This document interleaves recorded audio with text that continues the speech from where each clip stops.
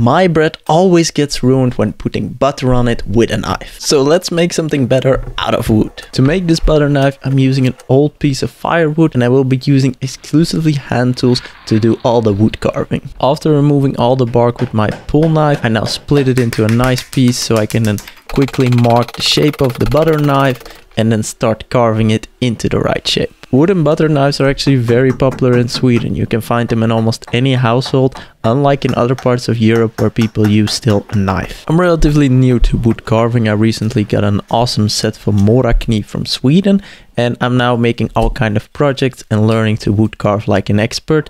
And as you can see, it's super satisfying, shavings flying everywhere and sharp tools make it easy work. Wood carving reminds me a lot of when I was young playing in the garden and like removing the bark of small branches. I think a lot of people have done it and it's such a calming process. It gets you very relaxed and although you saw there that I ruined the first one, I just started over again.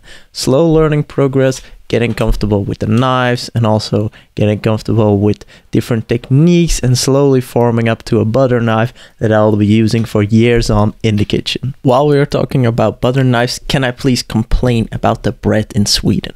I come from Belgium where we have a huge bread culture. Bread is delicious in Belgium. It's always made by bakers. It's it's wow. It's just amazing.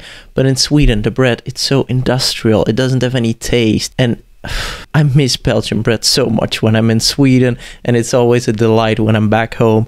And my mom is my favorite bread at home.